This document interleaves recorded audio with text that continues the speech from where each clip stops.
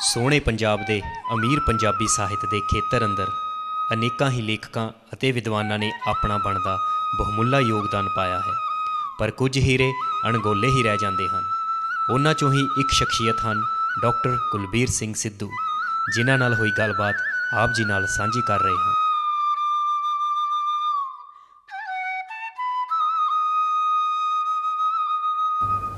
ਅਸੀਂ ਅੱਜ ਸਾਰੇ ਡਾਕਟਰ ਕੁਲਵੀਰ ਸਿੰਘ ਸਿੱਧੂ ਜੀ ਦੇ ਨਿਵਾਸ ਸਥਾਨ ਤੇ ਆਏ ਆ।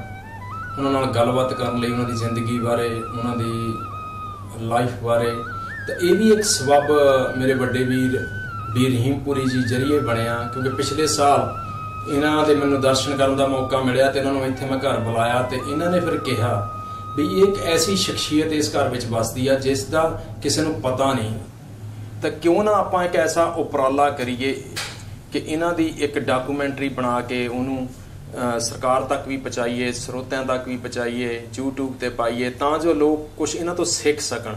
ਇਹ ਸਾਡੇ ਰਿਸ਼ਤੇ ਵਿੱਚ ਇੱਕ ਬੋਰਡ ਆ ਬੋਰਡ ਦਾ ਰੁੱਖ, ਜਿਹਦੀ ਛਾਂ ਥੱਲੇ ਅਸੀਂ ਘੱਟੋ ਘੱਟ 100 ਫੈਮਿਲੀ ਮੈਂਬਰ ਰਹਿੰਦੇ ਆ ਮੈਂ ਡਾਕਟਰ ਸੁਰਿੰਦਰ ਸਿੰਘ ਸਿੱਧੂ, ਡਾਕਟਰ ਕੁਲਵੀਰ ਸਿੰਘ ਹੁਣਾਂ ਦਾ ਛੋਟਾ ਭਰਾ ਹਾਂ। ਅਸੀਂ ਆਪਣੇ ਪਰਿਵਾਰ ਦੇ ਵਿੱਚ ਤਿੰਨ ਭਰਾ ਤੇ ਪੰਜ ਭੈਣਾਂ। ਸਾਡੇ ਲਈ ਇਹ ਘਰ ਜਿਹੜਾ ਆ ਇਹ ਸਾਰੀ ਦੁਨੀਆ ਨਾਲੋਂ ਸਾਡੇ ਲਈ ਘਰ ਇਹ ਪਿਆਰਾ ਆ। ਮੇਰਾ ਨਾਮ ਬੇਅੰਤ ਕੌਰ ਹੈ। ਛੇਵਾਂ ਨੰਬਰ ਹੈ ਮੇਰਾ ਪਰਿਵਾਰ ਵਿੱਚੋਂ। ਇਸ ਭਰਾ ਨੇ ਸਾਰੀ ਫੈਮਿਲੀ ਦਾ ਇੰਨਾ ਬਣਾਇਆ ਕੋਈ ਕਹਿਣ ਦੀ ਗੱਲ ਨਹੀਂ। ਬਟ ਅਸੀਂ ਇਹਨਾਂ ਲਈ ਕੁਝ ਨਹੀਂ ਕਰ ਸਕੇ। ਡਾਕਟਰ ਕੁਲਬੀਰ ਸਿੰਘ ਸਿੱਧੂ ਮੇਰੇ ਫਾਦਰ ਇਨ ਲਾ ਇਹਨਾਂ ਨੇ ਸਾਨੂੰ ਸਾਰਿਆਂ ਨੂੰ ਬਹੁਤ ਸੋਹਣੇ ਸੰਸਕਾਰ ਦਿੱਤੇ। ਕੋਈ ਵੀ ਸਾਡੇ ਘਰ ਦੇ ਵਿੱਚ ਇਹੋ ਜੀ ਹਰਕਤ ਇਹੋ ਜੀ ਗੱਲ ਨਹੀਂ ਹੋਈ। ਜਿਹਦੇ ਕਰਕੇ ਮੈਨੂੰ ਇਹ ਮਹਿਸੂਸ ਹੋਵੇ ਕਿ ਮੈਂ ਇਸ ਘਰ ਦੀ ਨੂੰਹ ਆ ਧੀ ਨਹੀਂ। ਹਮੇਸ਼ਾ ਬੇਟੀਆਂ ਵਾਂਗੂ ਇਹਨਾਂ ਨੇ ਮੈਨੂੰ ਰੱਖਿਆ। ਮੇਰੇ ਲਈ ਘਰ ਇੱਕ ਬਹੁਤ ਹੀ ਪਵਿੱਤਰ ਸਥਾਨ ਹੈ। ਦੇਖਣ ਵਾਲਿਆਂ ਨੂੰ, ਸੁਣਨ ਵਾਲਿਆਂ ਨੂੰ ਬੜੇ ਹੀ ਪਿਆਰ ਦੇ ਨਾਲ ਸਤਿ ਸ੍ਰੀ ਅਕਾਲ। ਪਿਆਰੇ ਦਰਸ਼ਕੋ, ਜ਼ਿੰਦਗੀ ਦੇ ਵਿੱਚ ਚੱਲਦਿਆਂ ਕਈ ਵਾਰੀ ਐਸੀਆਂ ਘਟਨਾਵਾਂ ਘਟ ਜਾਂਦੀਆਂ ਜਿਹੜੀ ਜ਼ਿੰਦਗੀ ਦਾ ਇੱਕ ਅਹਿਮ ਹਿੱਸਾ ਬਣ ਜਾਂਦੀਆਂ। ਇਸੇ ਤਰ੍ਹਾਂ ਚੱਲਦਿਆਂ ਚੱਲਦਿਆਂ ਮੇਰਾ ਛੋਟਾ ਵੀਰ ਹੈ ਅਵਤਾਰ ਸਿੰਘ।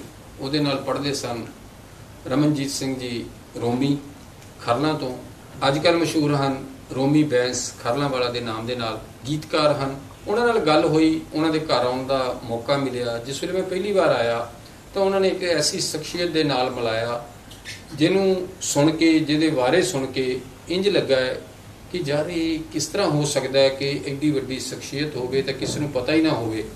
ਤਾਂ ਉਸੇ ਦਿਨ ਹੀ ਦੋਨਾਂ ਨੇ ਅਸੀਂ ਵਿਉਂਤਬੰਦੀ ਕੀਤੀ। ਐਸਾ ਪ੍ਰੋਗਰਾਮ ਬਣਿਆ ਕਿ ਇਹਨਾਂ ਦੇ ਉੱਤੇ ਜ਼ਰੂਰ ਕੁਝ ਨਾ ਕੁਝ ਗੱਲਬਾਤ ਕੀਤੀ ਜਾਵੇ। ਤਾਂ ਉਸੇ ਗੱਲਬਾਤ ਕਰਨ ਦੀ ਜਿਹੜੀ ਪਹਿਲ ਹੈ, ਉਹ ਮੇਰੇ ਵੀਰ ਰੋਮੀ ਬੈਂਸ ਨੇ ਕੀਤੀ ਤੇ ਅੱਜ ਉਹ ਮੌਕਾ ਮਿਲ ਰਿਹਾ ਕਿ ਆਪਾਂ ਇੱਕ ਬਹੁਤ ਹੀ ਵਧੀਆ ਸਾਹਿਤਕਾਰ, ਇੱਕ ਬੁੱਧੀਜੀਵੀ, ਇੱਕ ਐਸੀ ਸ਼ਖਸੀਅਤ, ਜਿਨ੍ਹਾਂ ਨੇ ਆਪਣਾ ਕੰਮ ਕਰਦਿਆਂ ਕਰਦਿਆਂ ਪੂਰੀ ਨਿਸ਼ਕਾਮਤਾ ਦੇ ਨਾਲ ਜਿੱਥੇ ਆਪਣੀ ਪੜ੍ਹਾਈ ਹੀ ਨਹੀਂ ਕੀਤੀ, ਆਪਣੇ ਪਰਿਵਾਰ ਨੂੰ ਵੀ ਪੜ੍ਹਾਇਆ। ਪਰਿਵਾਰ ਨੂੰ ਪੜਾਉਂਦਿਆਂ ਪੜਾਉਂਦਿਆਂ ਜਿਸ ਵੇਲੇ ਉਹਨਾਂ ਨੇ ਇਹ ਸਾਰਾ ਕੰਮ ਕਰਦਿਆਂ, ਪੜ੍ਹਾਈ ਕਰਦਿਆਂ ਆਪ ਵੀ ਡੀ ਦੀ ਡਿਗਰੀ ਵੀ ਲੈ ਲਈ, ਉਸ ਤੋਂ ਬਾਅਦ ਫਿਰ ਡੀ ਦੇ ਵਿਦਿਆਰਥੀ ਜਿਸ ਵੇਲੇ ਉਹਨਾਂ ਦੇ ਕੋਲ ਆਏ, ਉਹਨਾਂ ਨੂੰ ਵੀ ਬਿਨਾਂ ਮਿਹਨਤ ਲਿਆ ਡੀ ਦੀ ਜਿਹੜੀ ਸਿੱਖਿਆ ਹੈ, ਉਹ ਵੀ ਦਿੱਤੀ। ਉਹਨਾਂ ਦੇ ਥੀਸਿਸ ਲਿਖਣ ਦੇ ਵਿੱਚ, ਉਹਨਾਂ ਨੇ ਜਿਹੜੇ ਖੋਜ ਪੱਤਰ ਲਿਖੇ, ਉਹਨਾਂ ਨੂੰ ਬਣਾਉਣ ਦੇ ਵਿੱਚ ਮਦਦ ਕੀਤੀ। ਕਹਿਣ ਦਾ ਭਾਵ ਕਿ ਉਹਨਾਂ ਨੇ ਅਕੈਡਮਿਕ ਖੇਤਰ ਦੇ ਅੰਦਰ, ਵਿਦਿਅਕ ਖੇਤਰ ਦੇ ਅੰਦਰ ਬਹੁਤ ਹੀ ਵੱਡਾ ਇੱਕ ਯੋਗਦਾਨ ਪਾਇਆ।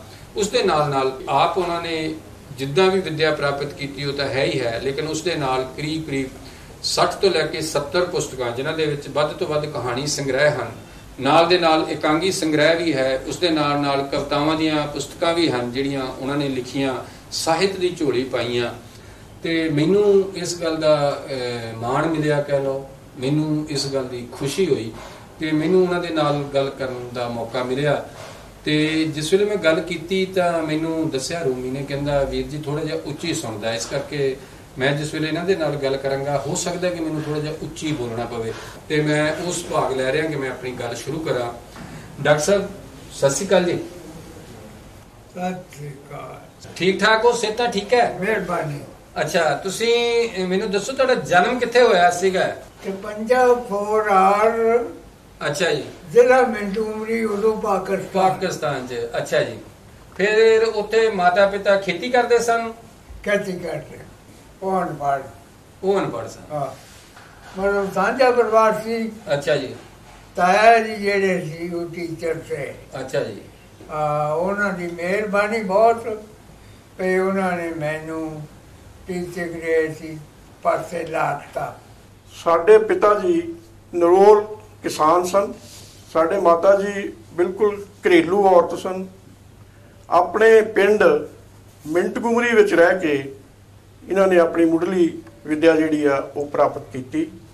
ਪੜ੍ਹਦਿਆਂ ਪੜ੍ਹਦਿਆਂ ਵਜ਼ੀਫਾ ਵੀ ਪ੍ਰਾਪਤ ਕੀਤਾ। ਅੱਛਾ ਜਿਸ ਵੇਲੇ ਤੁਸੀਂ ਗੱਲ ਕੀਤੀ ਤੁਹਾਡਾ ਜਨਮ ਹੋਇਆ ਪਾਕਿਸਤਾਨ 'ਚ। ਜੀ। ਹੁਣ ਆਪਾਂ ਆਪਣੇ ਦੇਸ਼ ਦੇ ਵਿੱਚ ਬੈਠੇ ਆ। ਇਹਦੇ ਵਿੱਚ ਇੱਕ ਬੜਾ ਵੱਡਾ ਦੁਖਾਂਤ ਵਾਪਰਿਆ 1947 ਵਾਲਾ ਜਦੋਂ ਦੇਸ਼ ਦੀ ਵੰਡ ਹੋਈ। ਉਹ ਜਿਹੜਾ ਦਰਦ ਹੈ ਉਹ ਸਮਾਂ ਜਿਹੜਾ ਤੁਸੀਂ ਆਪਣੇ ਪਿੰਡੇ ਤੇ ਹੰਡਾਇਆ। ਹੈਨਾ? ਤੁਸੀਂ ਉਹਦੇ ਬਾਰੇ ਮੈਂ ਚਾਹੂੰਗਾ ਕਿ ਉਸ ਨੂੰ ਕਿੱਦਾਂ ਸਾਡੇ ਨਾਲ ਸਾਂਝਾ ਕਰਨਾ ਚਾਹੋਗੇ? ਕਿ 47 ਚ ਕੀ ਹੋਇਆ?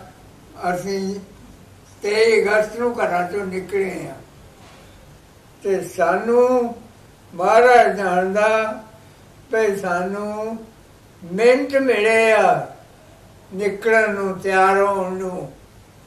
ਮਿੰਟ ਦਾ ਨੋਟਿਸ, ਮਿੰਟਾਂ ਦਾ ਨੋਟਿਸ। ਨਿਕਲ ਜਾਓ, ਨਹੀਂ ਤਾਂ ਮਾਰੇ ਜਾਓਗੇ। ਤੋ ਅਸੀਂ ਗੱਡੇ ਹੁੰਦੇ ਸੀ। ਅੱਛਾ ਜੀ। ਬ- ਗੱਡੇ ਲੈ ਕੇ ਜੋ ਮਾੜਾ ਮੋਟਾ ਆਟਾ ਦਾਣਾ ਰੱਖਣਾ ਸੀ, ਹੋਰ ਸਮਾਨ ਟੱਕੀ ਰੱਖਣਾ ਸੀ, ਉਹ ਰੱਖ ਕੇ ਤੇ ਅਸੀਂ ਤੁਰ ਪਏ ਆ ਤੇ ਕਾਫਲਾ ਜਿਹੜਾ ਆ, ਇੱਕ ਪਿੰਡ 'ਚ ਇਕੱਠਾ ਹੋ ਗਿਆ ਤੇ ਉੱਥੇ ਫਿਰ ਸਿਆਣੇ ਜਿਹੜੇ ਸੀ, ਉਹ ਕਹਿੰਦੇ ਜੀ ਅਸੀਂ ਪਹੁੰਚ ਕਰ ਲਈ ਆ, ਅਸੀਂ ਜਾਣਕਾਰੀ ਲੈ ਲਈ ਆ। ਆਪਾਂ ਇੱਥੋਂ ਉਦੋਂ ਤੱਕ ਨਹੀਂ ਹਿੱਲਣਾ ਜਦੋਂ ਤੱਕ ਮਿਲਟਰੀ ਦੀ ਆਪਾਂ ਨੂੰ ਰੱਖਿਆ ਨਾ ਮਿਲੇ।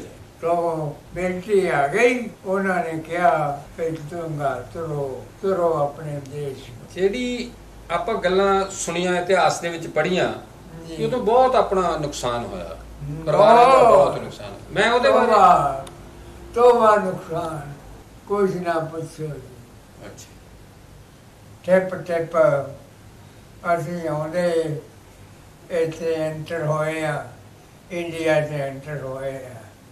ਜ਼ਮੀਨਾਂ ਮਿਲ ਗਈਆਂ, ਅਸੀਂ ਗੁੰਨਾ ਪੀੜ ਪੀੜ ਕੇ ਗੋਲ ਬਣਾ ਬਣਾ ਕੇ ਅਸੀਂ ਦਿਨ ਪੂਰੇ ਕੀਤੇ।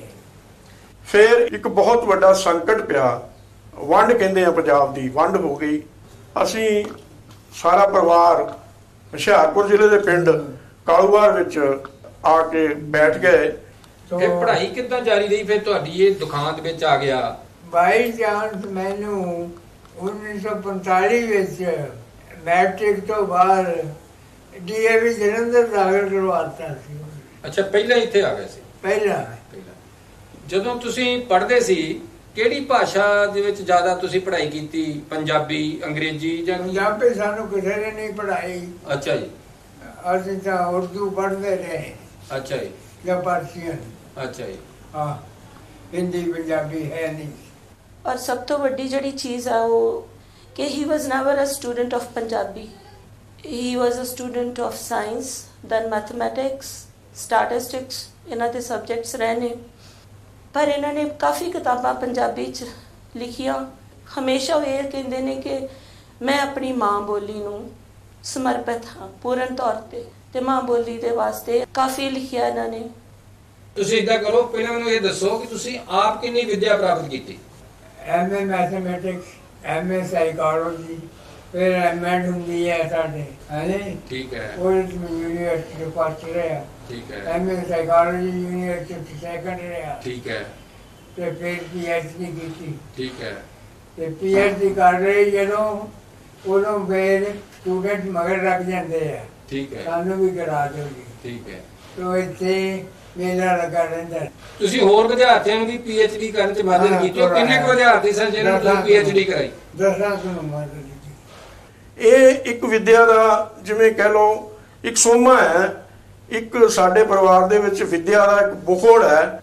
ਇਹਨਾਂ ਕੋਲ ਰਹਿ ਕੇ ਸਾਨੂੰ ਇਹ ਪਤਾ ਲੱਗਾ ਕਿ ਇੱਕ ਇਨਸਾਨ ਜਿਹੜਾ ਆ ਉਹ ਮਿਹਨਤ ਕਰਕੇ ਕਿਸ ਲੈਵਲ ਤੱਕ ਜਿਹੜਾ ਉਹ ਵਿਦਿਆ ਜਿਹੜੀ ਆ ਪ੍ਰਾਪਤ ਕਰ ਸਕਦਾ ਹੈ।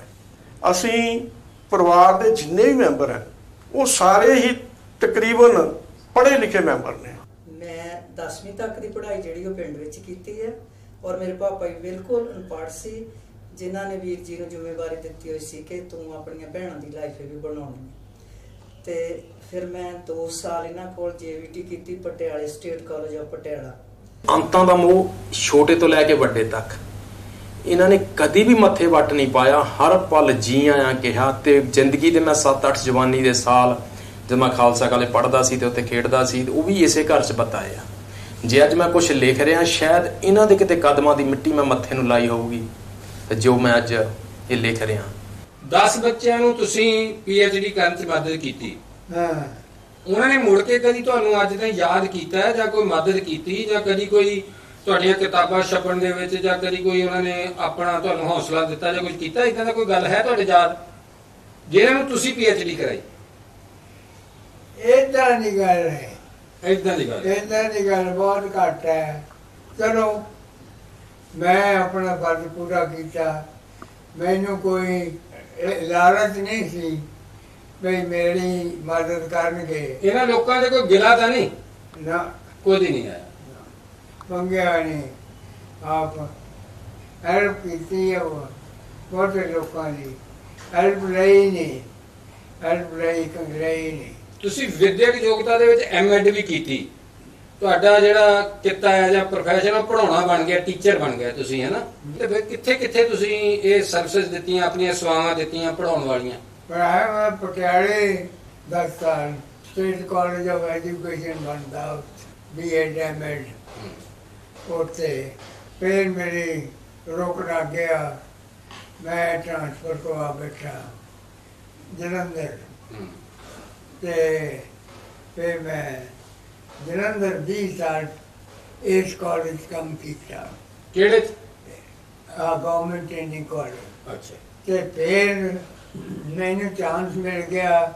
ਮੈਂ ਐਮਜੀਐਨ ਕਾਲਜ ਸੁਣਿਆ ਉਹਦਾ ਪ੍ਰਿੰਸੀਪਲ ਬਣ ਗਿਆ। ਉੱਥੇ ਵੀ ਮੈਂ ਸੱਤ ਸਾਲ ਪ੍ਰਿੰਸੀਪਲ ਰਿਹਾ ਗਵਰਨਮੈਂਟ ਸਰਵਿਸ ਨਾਲ ਮੇਰਾ ਸੰਪਰਕ ਠੀਕ ਸੀਗਾ ਮੈਂ ਕਿਹਾ ਜੀ ਮੈਂ ਅਸਤੀਫਾ ਦੇ ਕੇ ਨਹੀਂ ਜਾਣਾ ਠੀਕ ਹੈ ਪੈਨਸ਼ਨ ਛੱਡ ਕੇ ਨਹੀਂ ਜਾਣਾ ਹੂੰ ਆਗਿਆ ਦੇਣੀ ਹੈ ਤੇ ਤੁਹਾਡੀ ਮਰਜ਼ੀ ਹੂੰ ਨਹੀਂ ਦੇਣੀ ਤੁਹਾਡੀ ਮਰਜ਼ੀ।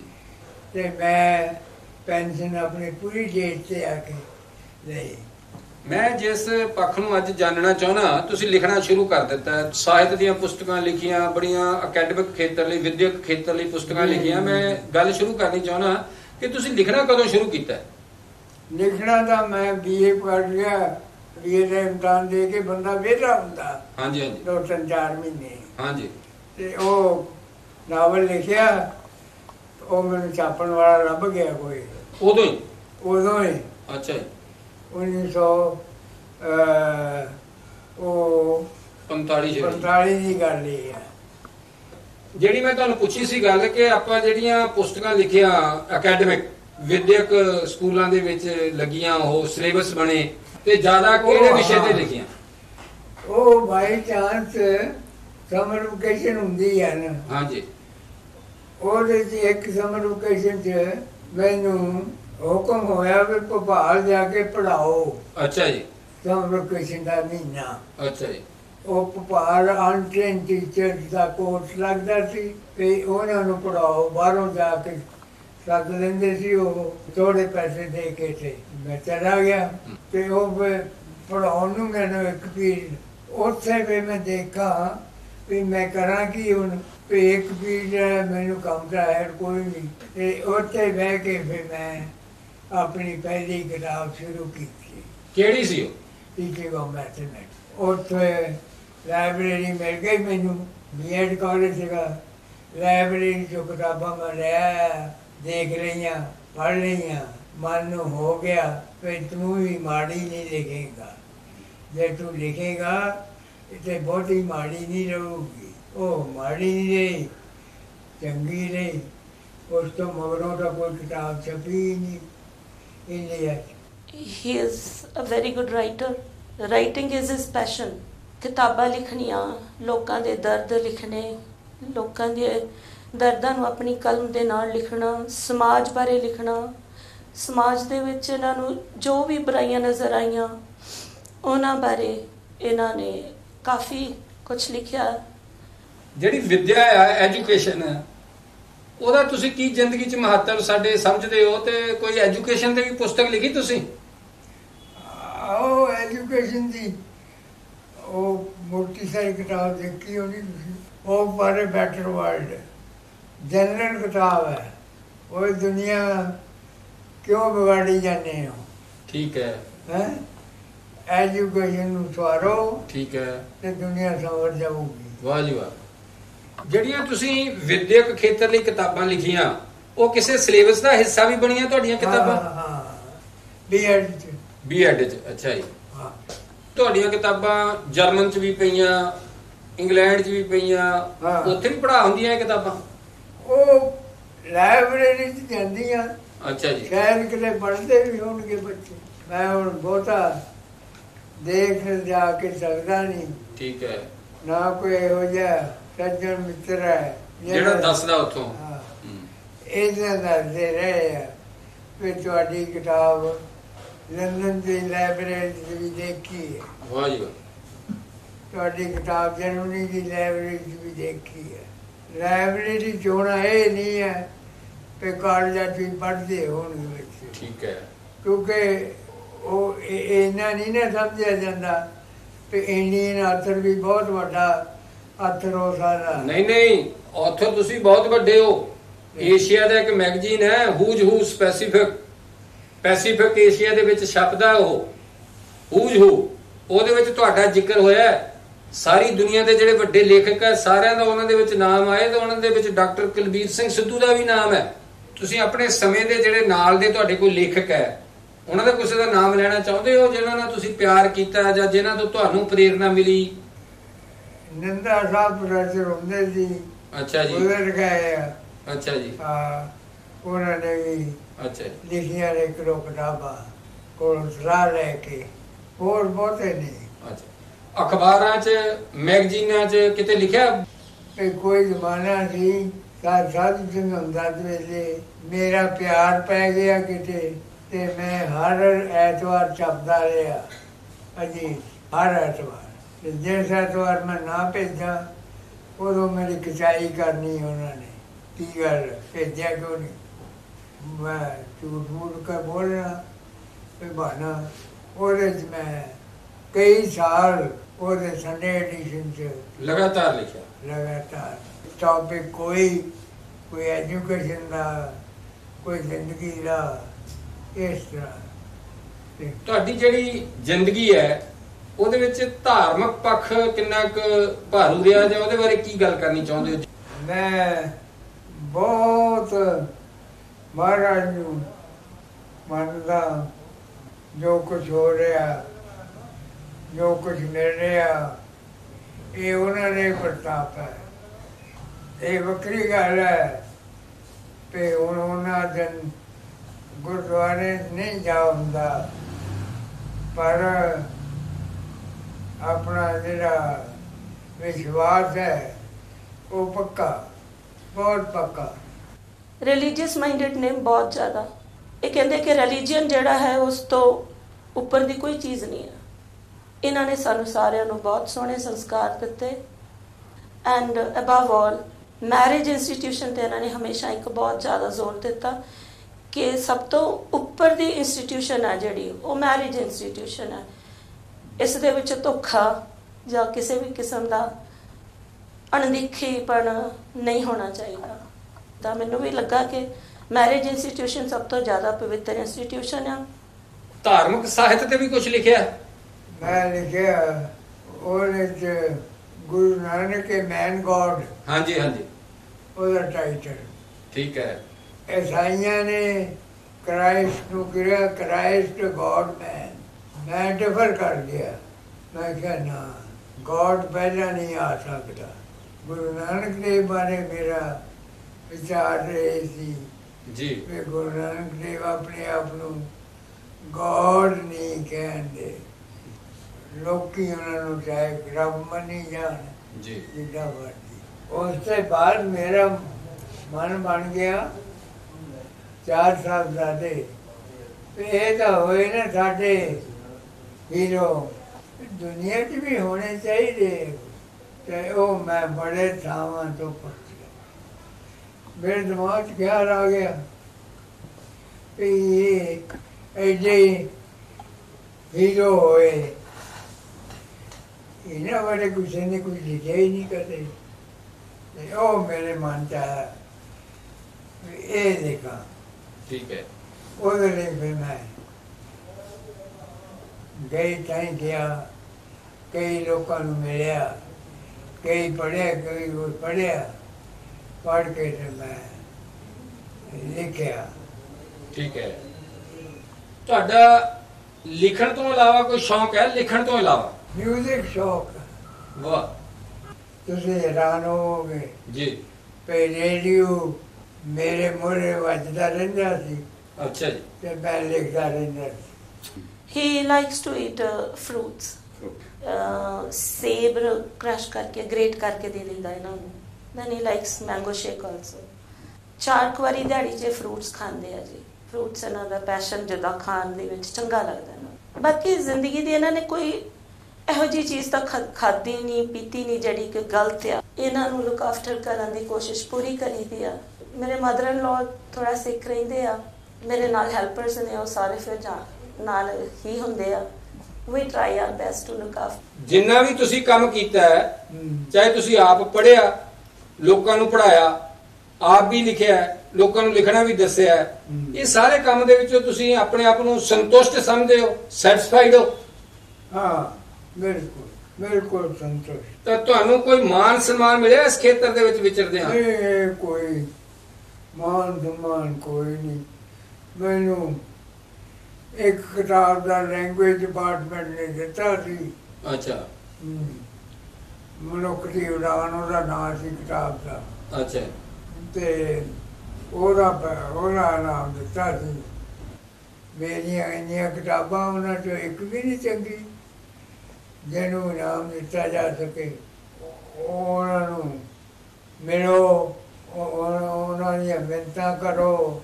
ਜਾਂ ਉਹਨਾਂ ਨਾਲ ਕੋਈ ਜਾਣ ਜਾਣ ਪਛਾਣ ਬਣਾਓ।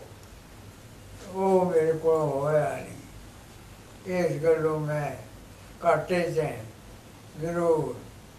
ਉਹ ਵੀ ਮੈਂ ਸੋਚਦਾ ਨਾ ਵੀ ਮੈਂ ਲਿਖੀ ਜਾਣਾ ਮੇਰੀ ਕਲਮ ਲਿਖੀ ਜਾਂਦੀ ਹੈ ਮੇਰੀ ਜੇਬ ਖਰਚ ਕਰ ਸਕਦੀ ਹੈ ਮੈਂ ਛਪਾ ਸਕਦਾ।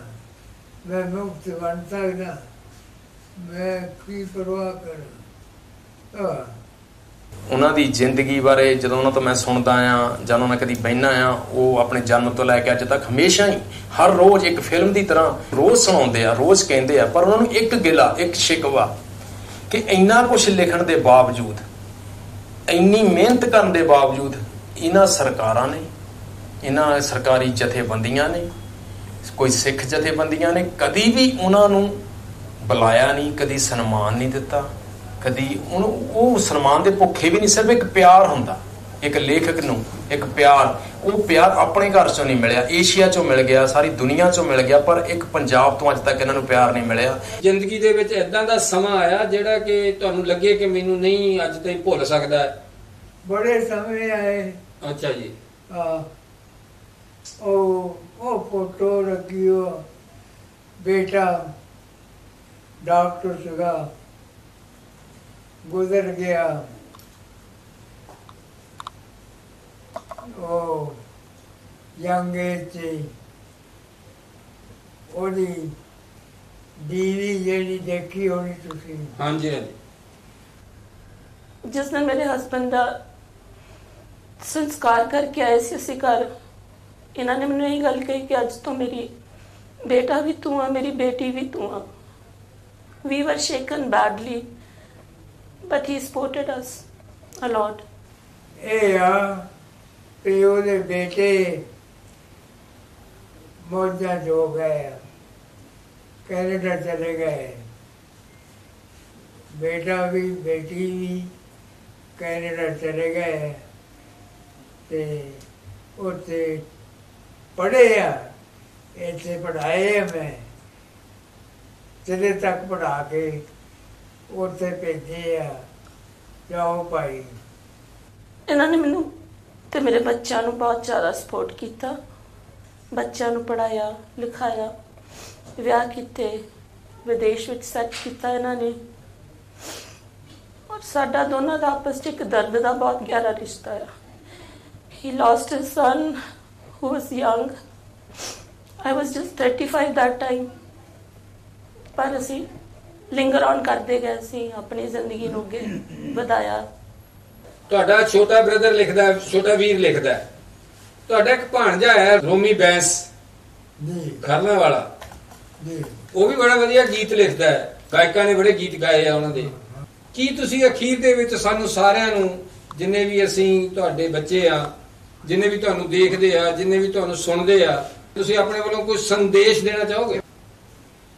ਮੇਰੇ ਨਾਲ ਸਹਿਮਤ ਹੋਣ, ਮੇਰੀਆਂ ਗੱਲਾਂ ਨਾਲ, ਮੇਰੇ, ਮੇਰੀਆਂ ਕਿਤਾਬਾਂ ਨਾਲ ਸਹਿਮਤ ਹੋਣ, ਤਾਂ ਖੁਸ਼ੀ ਦੀ ਗੱਲ ਹੈ। ਨਹੀਂ ਤਾਂ ਨਾ ਸਹੀ। ਨਹੀਂ ਤਾਂ ਨਾ ਡਾਕਟਰ ਕੁਲਬੀਰ ਸਿੰਘ ਜੀ, ਸਿੱਧੂ ਉਹਨਾਂ ਦੇ ਪਰਿਵਾਰ ਦੇ ਵਿੱਚ ਆ ਕੇ ਜਦੋਂ ਉਹਨਾਂ ਦੇ ਪਰਿਵਾਰ ਦੇ ਨਾਲ ਗੱਲਬਾਤ ਕਰਨ ਦਾ ਮੌਕਾ ਮਿਲਿਆ, ਤਾਂ ਉਸੇ ਹੀ ਲੜੀ ਦੇ ਅੰਦਰ, ਉਸੇ ਹੀ ਕੜੀ ਦੇ ਅੰਦਰ ਫਿਰ ਅਸੀਂ ਉਸ ਕਮਰੇ ਦੇ ਵਿੱਚ ਗਏ। ਜਿੱਥੇ ਇਸ ਪਰਿਵਾਰ ਨੇ ਉਹਨਾਂ ਦੀਆਂ ਪੁਸਤਕਾਂ ਸਜਾ ਕੇ ਰੱਖੀਆਂ ਹੋਈਆਂ ਸਨ, ਤਾਂ ਕਿ ਆਪਾਂ ਸਾਰੇ ਦੇਖ ਸਕੀਏ ਕਿ ਕਿਹੜੇ-ਕਿਹੜੇ ਸਰਲੇਖਾਂ ਦੇ ਅਧੀਨ ਉਹਨਾਂ ਨੇ ਇਹ ਪੁਸਤਕਾਂ ਜਿਹੜੀਆਂ ਹਨ, ਸਾਹਿਤ ਦੀ ਝੋਲੀ ਪਾਈਆਂ ਹਨ, ਵਿਦਿਅਕ ਖੇਤਰ ਦੀ ਝੋਲੀ ਪਾਈਆਂ ਹਨ। ਇਹ ਡਾਕਟਰ ਕੁਲਦੀਪ ਸਿੰਘ ਜੀ ਸਿੱਧੂ ਉਹਨਾਂ ਦੀ ਪਹਿਲੀ ਪੁਸਤਕ ਹੈ, ਵਿਦਿਆਰਥੀ, ਜਿਹੜੀ ਉਹਨਾਂ ਦੇ ਦੱਸਣ ਦੇ ਮੁਤਾਬਕ ਜਦੋਂ ਗ੍ਰੈਜੂਏਸ਼ਨ ਕਰ ਰਹੇ ਸਨ ਬੀਏ ਕਰ ਰਹੇ ਸਨ, ਉਸ ਵੇਲੇ ਹੀ ਇਹਨਾਂ ਨੇ ਆਪਣੀ ਇਹ ਨਾਵਲ ਦੇ ਰੂਪ ਦੇ ਵਿੱਚ ਪੁਸਤਕ ਲਿਖੀ। ਇਹ ਪੁਸਤਕ ਹੈ ਸਰਦਾਰ। ਮੈਂ ਚਾਹਾਂਗਾ ਕਿ ਇਹਦੇ ਬਾਰੇ ਵੀ ਆਪਾਂ ਡਾਕਟਰ ਸਾਹਿਬ ਤੋਂ ਆਪ ਹੀ ਸੁਣੀਏ ਕਿ ਉਹ ਇਸ ਬਾਰੇ ਕੀ ਕਹਿਣਾ ਚਾਹੁੰਦੇ, ਇਹਦੇ ਵਿੱਚ ਉਹਨਾਂ ਨੇ ਕੀ ਸੰਗ੍ਰਹਿ ਕੀਤਾ ਹੈ? 45 ਮਹਾਨ ਸਰਦਾਰਾਂ ਦੀਆਂ ਜੀਵਨੀਆਂ ਆ। ਸ਼ਹੀਦ ਭਗਤ ਸਿੰਘ ਤੇ ਕਰਤਾਰ ਸਿੰਘ ਸਰਾਭਾ ਤੇ ਸੇਵਾ ਸਿੰਘ ਟਿਕਰੀ ਵਾਲਾ। ਇਹ ਦੀ ਮਾਰਸ਼ਲ ਅਰਜਨ ਸਿੰਘ ਉਹਦੇ ਚ ਇਹਦੇ- ਉਹਦੇ, ਇਹਦੇ ਵਿੱਚ ਹੈ। ਭਗਤ ਪੂਰਨ ਸਿੰਘ ਪਿੰਗਲਵਾੜਾ ਤੇ ਕਦਾਰੀਆਂ ਜੋ ਵੀ ਆ ਮਿਲਖਾ ਸਿੰਘ ਇਸ ਤਰ੍ਹਾਂ ਮਤਲਬ 45 ਜੀਵਨੀਆਂ ਇਕੱਠੀਆਂ ਕੀਤੀਆਂ education the hope for a better world ਇਹਦਾ ਟਾਈਟਲ ਹੀ ਦੱਸ ਰਿਹਾ ਹੈ ਕਿ ਇੱਕ ਵਿਦਿਆ ਐਸੀ ਚੀਜ਼ ਹੈ, ਵਿਦਿਆ ਵਿਚਾਰੀ ਤਾਂ ਪਰਉਪਕਾਰੀ ਇੱਕ ਐਸਾ ਵਿਦਿਆ ਖੇਤਰ ਹੈ ਕਿ ਦੁਨੀਆ ਨੂੰ ਅਗਰ ਖੂਬਸੂਰਤ ਕਰਨਾ ਇਹਨਾਂ ਨੇ ਆਪਣੀ ਗੱਲਬਾਤ ਕਰਦਿਆਂ ਵੀ ਦੱਸਿਆ ਤੇ ਵਿਦਿਆ ਦੀ ਬਹੁਤ ਵੱਡੀ ਲੋੜ ਪਵੇਗੀ। ਗੁਰੂ ਨਾਨਕ ਏ ਮੈਨ ਗॉड ਇੱਕ ਐਸੀ ਪੁਸਤਕ ਹੈ ਜਿਸ ਨੂੰ ਪੜ੍ਹ ਕੇ ਜਿੱਥੇ ਸ਼ਬਦ ਗੁਰੂ ਦੇ ਸਿਧਾਂਤ ਦੀ ਗੱਲ ਸਮਝ ਆਉਂਦੀ ਹੈ ਜਿਸਲੇ ਜਿੱਥੇ ਸਰੀਰ ਦੀ ਨਾਸ਼ਵਾਨਤਾ ਦੀ ਗੱਲ ਆਉਂਦੀ ਹੈ, ਉੱਥੇ ਇੱਕ ਗੱਲ ਬਹੁਤ ਹੀ ਉਭਾਰ ਕੇ ਕਹੀ ਗਈ ਹੈ ਕਿ ਜਿਹੜਾ ਇਨਸਾਨ ਹੈ, ਜਿਹੜੀ ਦੇਹ ਹੈ, ਉਹ ਮਾਰਗਦਰਸ਼ਕ ਤਾਂ ਹੋ ਸਕਦਾ ਹੈ, ਉਹ ਰੱਬ ਨਹੀਂ ਹੋ ਸਕਦੀ। ਜਿਸ ਵੇਲੇ ਡਾਕਟਰ ਕੁਲਵੀਰ ਸਿੰਘ ਸਿੱਧੂ ਜੀ ਨਾਲ ਗੱਲ ਕਰ ਰਹੇ ਸਾਂ, ਤਾਂ ਇੱਕ ਗੱਲ ਨੇ ਅੰਦਰ ਬਹੁਤ ਤਕਲੀਫ ਦਿੱਤੀ। ਜਿਸ ਵੇਲੇ ਉਹਨਾਂ ਨੇ ਕਿਹਾ ਕਿ ਮਾਨ ਸਨਮਾਨ ਕੀ ਮਿਲਨੇ ਆ। ਲੇਕਿਨ ਕੁਦਰਤ ਜਿਸ ਵੇਲੇ ਮਾਨ ਸਨਮਾਨ ਦਿੰਦੀ ਆ, ਉਹ ਬਹੁਤ ਵੱਡੇ ਆਪਣੇ ਆਪ ਦੇ ਵਿੱਚ ਹੁੰਦੇ ਆ। ਕਿਸ ਨੂੰ ਬੰਦੇ ਨੂੰ ਪਤਾ ਵੀ ਨਹੀਂ ਹੁੰਦਾ ਕਿ ਉਹ ਮਾਨ ਸਨਮਾਨ ਕਿਸ ਤਰ੍ਹਾਂ ਮਿਲ ਗਿਆ। ਉਹ ਬੜੇ ਵਿਰਲਿਆਂ ਦੇ ਹਿੱਸੇ ਆਉਂਦੇ ਆ। ਲੇਕਿਨ ਜਿਸ ਵੇਲੇ ਆਪਾਂ ਅੰਤਰਰਾਸ਼ਟਰੀ ਪੱਧਰ ਤੇ ਜਾ ਕੇ ਵੀ ਪਤਾ ਕਰਦੇ ਆ ਕਿ ਇਹਨਾਂ ਨੇ ਕੁਝ ਹਾਸਲ ਕੀਤਾ ਤਾਂ ਉਸ ਵੇਲੇ ਕੁਝ ਕੁ ਪੁਸਤਕਾਂ ਮੇਰੇ ਕੋਲ ਪਈਆਂ ਮੈਂ ਦੇਖ ਰਿਹਾ ਸਾਂ। ਇਹ ਪਹਿਲੀ ਪੁਸਤਕ ਦੀ ਮੈਂ ਗੱਲ ਕਰਾਂਗਾ, ਪੰਜਾਬੀ ਲੇਖਕ ਕੋਸ਼ ਹੈ। ਪ੍ਰੋਫੈਸਰ ਪ੍ਰੀਤਮ ਸਿੰਘ ਜੀ, ਉਹਨਾਂ ਨੇ ਇਹਦੀ ਸੰਪਾਦਨਾ ਕੀਤੀ ਹੋਈ ਹੈ। ਇਹਨਾਂ ਦੇ ਵਿੱਚ ਉਹਨਾਂ ਨੇ ਉਹ ਸਾਰੇ ਲੇਖਕ ਵੱਖ-ਵੱਖ ਖੇਤਰਾਂ ਦੇ ਜਿਨ੍ਹਾਂ ਨੇ ਵੀ ਕਿਤੇ ਨਾ ਕਿਤੇ ਕੋਈ ਨਾ ਕੋਈ ਕੰਮ ਕੀਤਾ ਹੈ ਕੋਈ ਨਾ ਕੋਈ ਆਪਣੀ ਉਪਲਬਧੀਆਂ ਲਈਆਂ ਆ। ਉਹਦਾ ਜਿਹੜਾ ਆ ਜ਼ਿਕਰ ਕੀਤਾ ਹੋਇਆ ਹੈ ਤੇ ਜਿਸ ਵੇਲੇ ਆਪਾਂ ਇਸ ਦੇ ਪੰਨਾ 244 ਤੇ ਪਹੁੰਚਦੇ ਆ ਤਾਂ ਉੱਥੇ ਡਾਕਟਰ ਕੁਲਵੀਰ ਸਿੰਘ ਜੀ ਉਹਨਾਂ ਦਾ ਜ਼ਿਕਰ ਆਉਂਦਾ ਕਹਿੰਦਾ ਭਾਵ ਕਿ ਇਹ ਆਪਣੇ ਆਪ ਦੇ ਵਿੱਚ ਇੱਕ ਇਦਾਂ ਦਾ ਦਸਤਾਵੇਜ਼ ਬਣ ਗਿਆ ਹੈ, ਜਿਹਨੇ ਸਭ ਕੁਝ ਮਾਨ ਸਨਮਾਨ ਜਿਹੜਾ ਹੈ ਉਹ ਡਾਕਟਰ ਸਾਹਿਬ ਨੂੰ ਦੇ ਦਿੱਤਾ ਹੈ। ਉਸ ਤੋਂ ਬਾਅਦ ਨਿਗਾਹ ਪਈ ਏਸ਼ੀਆ ਪੈਸੀਫਿਕ ਹੂਜ ਹੂ ਦੇ ਉੱਤੇ। ਰੋਮੀ ਵੀਰ ਨੇ ਪੰਨਾ ਨੋਟ ਕਰਾਇਆ ਮੈਨੂੰ। ਉਹ ਜਿਸ ਵੇਲੇ ਮੈਂ 149 ਪੇਜ ਤੇ ਪਹੁੰਚਿਆ, ਤਾਂ ਉੱਥੇ ਡਾਕਟਰ ਕੁਲਵੀਰ ਸਿੰਘ ਸਿੱਧੂ ਹੋਣਾ ਦੀ ਫੋਟੋ ਵੀ ਲੱਗੀ ਹੋਈ ਸੀ। ਤੇ ਉਸ ਫੋਟੋ ਦੇ ਨਾਲ ਨਾਲ ਕਿਹੜੇ ਸਨ ਦੇ ਵਿੱਚ ਇਹਨਾਂ ਨੇ ਕਿਹੜੀ ਕਿਤਾਬ ਲਿਖੀ, ਕਿਸ ਤਰ੍ਹਾਂ ਇਹਨਾਂ ਨੇ ਆਪਣੀਆਂ ਰਚਨਾਵਾਂ ਕੀਤੀਆਂ, ਕਿਹੜੇ ਸਨ 'ਚ ਕਿਹੜੀ ਪੁਸਤਕ ਲਿਖੀ, ਸਾਰੇ ਦਾ ਸਾਰਾ ਜ਼ਿਕਰ ਜਿਹੜਾ ਹੈ ਇਹ ਲਿਖਿਆ ਹੋਇਆ ਹੈ, ਇਹ ਪੁਸਤਕਾਂ ਕਿਸੇ ਨੇ ਕਹਿ ਕੇ ਨਹੀਂ ਛਪਵਾਈਆਂ। ਇਹ ਤਾਂ ਜਿਨ੍ਹਾਂ ਨੇ ਇਹ ਸੰਗ੍ਰਹਿ ਕਰਨਾ ਹੁੰਦਾ, ਉਹ ਦੇਖਦੇ ਆ ਕਿ ਅਸੀਂ ਕਿਸ ਨੂੰ ਇਹਦੇ ਵਿੱਚ ਲੈ ਕੇ ਜਾਣਾ। ਉਸ ਤੋਂ ਬਾਅਦ ਫਿਰ ਇੱਕ ਸਾਊਥ ਏਸ਼ੀਆ ਪਬਲਿਸ਼ਿੰਗ ਕੰਪਨੀ ਦੀ ਡਿਸਟਿੰਗੁਇਸ਼ਡ ਐਂਡ ਐਡਮਾਇਰੇਬਲ ਅਚੀਵਰਸ ਇਸ ਦੇ ਵਿੱਚ ਵੀ ਜਿਸ ਵੇਲੇ ਆਪਾਂ ਇਸ ਦੇ ਪੰਨਾ 316 ਦੇ ਉੱਤੇ ਪਹੁੰਚਦੇ ਹਾਂ, ਤੇ ਉੱਥੇ ਜਾ ਕੇ ਡਾਕਟਰ ਸਾਹਿਬ ਦਾ ਜ਼ਿਕਰ ਮਿਲਦਾ ਹੈ ਆਪਾਂ ਨੂੰ। ਤੇ ਉਸ ਤੋਂ ਬਾਅਦ ਇੰਟਰਨੈਸ਼ਨਲ ਬਾਇਓਗ੍ਰਾਫੀਜ਼ ਦੀ ਵੀ 2004 ਸਨ ਦੇ ਵਿੱਚ ਛਪੀ ਹੋਈ ਪੁਸਤਕ ਇਹਨਾਂ ਦੀ ਲਾਇਬ੍ਰੇਰੀ ਦੇ ਵਿੱਚੋਂ ਮਿਲੀ। ਤੇ ਜਿਹੜੇ ਅੰਤਰਰਾਸ਼ਟਰੀ ਪੱਧਰ ਦੇ ਉੱਤੇ ਵੀ ਇਹ ਗੱਲ ਚੱਲੀ ਹੈ, ਉਸ ਦੇ ਵਿੱਚ ਵੀ ਸਿੱਧੂ ਸਾਹਿਬ ਦਾ ਜਿਹੜਾ ਜ਼ਿਕਰ ਹੈ, ਉਹ 410 ਪੇਜ ਦੇ ਉੱਪਰ ਹੈ ਨਾ ਆਪਾਂ ਨੂੰ ਮਿਲਦਾ ਹੈ ਤੇ ਮੇਰਾ ਖਿਆਲ ਹੈ ਕਿ ਇਸ ਤੋਂ ਵੱਡਾ ਮਾਨ ਸਨਮਾਨ ਕੋਈ ਨਹੀਂ ਹੋ ਸਕਦਾ, ਪਰ ਫਿਰ ਵੀ ਕਹਿੰਦੇ ਹਨ ਕਿ ਦੂਜੇ ਜਿੰਨਾ ਮਰਜ਼ੀ ਮਾਨ ਸਨਮਾਨ ਦਿੰਦੇ ਰਹਿਣ, ਜਿੰਨੀ ਮਰਜ਼ੀ ਗੱਲ ਕਰਦੇ ਰਹਿਣ, ਲੇਕਿਨ ਜਿਸ ਵੇਲੇ ਆਪਣੇ ਤਾੜੀ ਮਾਰਦੇ ਆ ਜਿਸ ਵੇਲੇ ਆਪਣੇ ਹੌਸਲਾ ਵਧਾਉਂਦੇ ਆ ਉਸ ਦਾ ਇੱਕ ਨਸ਼ਾ ਹੀ ਵੱਖਰਾ ਹੁੰਦਾ, ਉਸ ਦਾ ਇੱਕ ਇਸ਼ਕ ਹੀ ਵੱਖਰਾ ਹੁੰਦਾ ਹੈ। ਮੈਂ ਫਿਰ ਇੱਕ ਵਾਰ ਇਹੀ ਦਰਦ ਤੁਹਾਡੇ ਵਿਹੜੇ ਰੱਖ ਰਿਹਾ ਕਿ ਆਓ ਰਲ ਮਿਲ ਕੇ ਇਹਨਾਂ ਲੇਖਕਾਂ ਦੇ ਉਸ ਦਰਦ ਨੂੰ ਪਛਾਣੀਏ ਤੇ ਆਪਾਂ ਉਹਨਾਂ ਆਪਣਿਆਂ ਦੀ ਜਿਹੜੇ ਕਿ ਦੁਨੀਆ ਦੇ ਵਿੱਚ ਨਾਮ ਕਮਾ ਚੁੱਕੇ ਆ, ਉਹਨਾਂ ਦੀ ਪਹਿਚਾਣ ਕਰਕੇ ਉਹਨਾਂ ਨੂੰ ਬਣਦਾ ਮਾਨ ਸਨਮਾਨ ਦਈਏ। ਇਸ ਸਨ ਡਾਕਟਰ ਕੁਲਬੀਰ ਸਿੰਘ ਜੀ ਸਿੱਧੂ, ਜਿਨ੍ਹਾਂ ਦੇ ਨਾਲ ਆਪਾਂ ਨੂੰ ਗੱਲਬਾਤ ਕਰਨ ਦਾ ਮੌਕਾ ਮਿਲਿਆ, ਆਪਾਂ ਨੂੰ ਪਤਾ ਲੱਗਾ ਕਿ ਕਿਸ ਤਰ੍ਹਾਂ ਐਸੇ ਅਨਗੋਲੇ ਲੇਖਕ ਜਿਨ੍ਹਾਂ ਨੇ ਕਹਾਣੀ ਸੰਗ੍ਰਹਿ, ਕਵਿਤਾ ਸੰਗ੍ਰਹਿ, ਇਕਾਂਗੀ ਸੰਗ੍ਰਹਿ ਸਾਹਿਤ ਦੀ ਝੋਲੀ ਪਾਏ। ਜਿਹੜੇ ਅਨਗੋਲੇ ਪਏ ਹਨ, ਜਿਨ੍ਹਾਂ ਦੀ ਗੱਲ ਦੁਨੀਆ ਵਿੱਚ ਨਹੀਂ ਗਈ, ਲੋਕਾਂ ਦੇ ਵਿੱਚ ਨਹੀਂ ਗਈ, ਲੇਕਿਨ ਉਹਨਾਂ ਨੂੰ ਲਿਜਾਣ ਵਾਸਤੇ ਯਤਨ ਕਰਨਾ ਚਾਹੀਦਾ ਹੈ। ਇਹ ਯਤਨ ਤਾਂ ਵੈਸੇ ਜਥੇਬੰਦਕ ਤੌਰ ਤੇ ਹੋਣੇ ਚਾਹੀਦੇ ਹਨ, ਸਰਕਾਰੀ ਪੱਧਰ ਤੇ ਵੀ ਹੋਣੇ ਚਾਹੀਦੇ ਹਨ, ਲੇਕਿਨ ਜਿੱਥੇ ਨਿੱਜੀ ਯਤਨ ਵੀ ਹੁੰਦੇ ਹਨ, ਉਹ ਵੀ ਸ਼ਲਾਘਾਯੋਗ ਹੁੰਦੇ ਹਨ। ਜਿੱਥੇ ਸਾਰਿਆਂ ਦਾ ਧੰਨਵਾਦ ਹੈ ਕਿ ਤੁਸੀਂ ਸਮਾਂ ਕੱਢ ਕੇ ਇਸ ਗੱਲਬਾਤ ਨੂੰ ਸੁਣਿਆ, ਇਸ ਤੋਂ ਆਪਾਂ ਜ਼ਰੂਰ ਕੋਈ ਨਾ ਕੋਈ ਸੇਧ ਵੀ ਲਈ ਹੋਵੇਗੀ। ਉੱਥੇ ਮੈਂ ਅਖੀਰ ਦੇ ਵਿੱਚ ਧੰਨਵਾਦ ਜ਼ਰੂਰ ਕਰਨਾ ਚਾਹਾਂਗਾ। ਇਹਨਾਂ ਦੀ ਭੈਣ ਜੀ ਦੇ ਲੜਕੇ ਰੋਮੀ ਬੈਂਸ ਦਾ ਜਿਨ੍ਹਾਂ ਦੇ ਯਤਨਾਂ ਦੇ ਸਦਕਾ ਉਹਨਾਂ ਨੇ ਆਪਣੇ ਮਾਮਾ ਜੀ ਦੇ ਇਸ ਸਰਮਾਏ ਨੂੰ ਸਾਂਭਣ ਦਾ ਯਤਨ ਕੀਤਾ ਹੈ ਔਰ ਰਲ ਮਿਲ ਕੇ ਆਪਾਂ ਆਪਣੇ ਇਸ ਪੰਜਾਬੀ ਦੇ ਅਮੀਰ ਵਿਰਸੇ ਨੂੰ ਜਿੱਥੋਂ ਵੀ ਸਾਨੂੰ ਕੁਝ ਪ੍ਰਾਪਤ ਹੋਵੇ ਉਸ ਨੂੰ ਲੈ ਕੇ ਸੰਭਾਲਣ ਦਾ ਯਤਨ ਕਰੀਏ। ਅਖੀਰ ਦੇ ਵਿੱਚ ਬਹੁਤ ਬਹੁਤ ਪਿਆਰ ਦੇ ਨਾਲ ਸਤਿ ਸ੍ਰੀ ਅਕਾਲ। ਔਰ ਸਾਡੇ ਵੀਰ ਜੀ ਜਿਹੜੇ ਨੇ ਅਸੀਂ ਇਹ ਅਰਦਾਸ ਕਰਦੇ ਹਾਂ ਕਿ ਇਹ ਹੋਰ ਅਹ, ਜੁਗੋ ਜੁਗ ਜੀਣ ਹੋਰ ਜਿਹੜੀਆਂ ਪ੍ਰਾਪਤੀਆਂ ਕਰਨ। ਵਾਹਿਗੁਰੂ ਅੱਗੇ ਅਰਦਾਸ ਕਰਦੀ ਹਾਂ ਕਿ ਵਾਹਿਗੁਰੂ ਇਹਨਾਂ ਨੂੰ ਤੰਦਰੁਸਤੀ ਦਿਓ ਤੰਦਰੁਸਤੀ ਦਿਓ ਤੇ ਅਸੀਂ ਇਹਨਾਂ ਨੂੰ ਇਸ ਤਰ੍ਹਾਂ ਹੀ ਦੇਖਦੇ ਰਹੀਏ ਜਦੋਂ ਵੀ ਅਸੀਂ ਆਈਏ ਇਸ ਤਰ੍ਹਾਂ ਹੀ ਦੇਖਦੇ ਰਹੀਏ। ਪਰਮਾਤਮਾ ਇਹਨਾਂ ਨੂੰ ਲੰਬੀ ਉਮਰ ਦੇਵੇ। ਹੋਰ ਕਿਤਾਬਾਂ ਲਿਖ ਸਕਣ ਜੋ ਇਹਨਾਂ ਦਾ ਸ਼ੌਕ ਆ ਤੇ ਅਸੀਂ ਇਹਨਾਂ ਨੂੰ ਪੂਰੀ ਚੰਗੀ ਤਰ੍ਹਾਂ ਲੁੱਕ ਆਫਟਰ ਕਰ ਸਕੀਏ। ਦੈਟਸ ਮਾਈ ਵਿਸ਼ ਤੇ ਮੈਂ ਰੱਬ ਅੱਗੇ ਅਰਦਾਸ ਕਰਦਾ ਕਿ ਮੇਰੇ ਮਾਮਾ ਜੀ ਨੂੰ ਇੱਕ ਉਹਨਾਂ ਦੀ ਉਮਰ ਦਾ ਸੈਂਕੜਾ ਜ਼ਰੂਰ ਪੂਰਾ ਕਰਵਾਵੇ। ਤੇ ਇੱਕ ਉਹਨਾਂ ਨੇ ਅੱਜ ਤੱਕ ਜਿਹੜੀਆਂ 80 ਕਿਤਾਬਾਂ ਲਿਖੀਆਂ, ਉਹ ਮੈਨੂੰ ਹਰ ਰੋਜ਼ ਕਹਿੰਦੇ ਆ ਵੀ ਮੈਂ ਸੈਂਕੜਾ ਕਿਤਾਬਾਂ ਦਾ ਵੀ ਪੂਰਾ ਕਰਨਾ ਚਾਹੁੰਦਾ। ਵੀ ਪ੍ਰਮਾਤਮਾ ਉਮਰ ਦਾ ਸੈਂਕੜਾ ਵੀ ਦੇਵੇ, ਇਹਨਾਂ ਨੂੰ ਕਿਤਾਬਾਂ ਦਾ ਸੈਂਕੜਾ ਵੀ ਦੇਵੇ ਤੇ ਚੜ੍ਹਦੀ ਕਲਾ 'ਚ ਰੱਖੇ, ਤੰਦਰੁਸਤੀ ਰੱਖੇ ਤੇ ਸਦਾ ਹੱਸਦੇ ਵਸਦੇ। ਇਦਾਂ ਹੀ ਸਾਨੂੰ ਪਿਆਰ ਦਿੰਦੇ ਰਹਿਣ ਤੇ ਅਸੀਂ ਇਹਨਾਂ ਦੇ ਚਰਨਾਂ 'ਚ ਬਹਿ ਕੇ ਆਪਣੀ ਬਾਕੀ ਉਮਰ ਵੀ ਬਤਾਈਏ ਤੇ ਇਹਨਾਂ ਤੋਂ ਕੁਝ ਸਿੱਖਦੇ ਵੀ ਰਹੀਏ ਲੇਕਿਨ ਰੱਬ ਨੂੰ ਕੁਝ ਹੋਰ ਹੀ ਮਨਜ਼ੂਰ ਸੀ।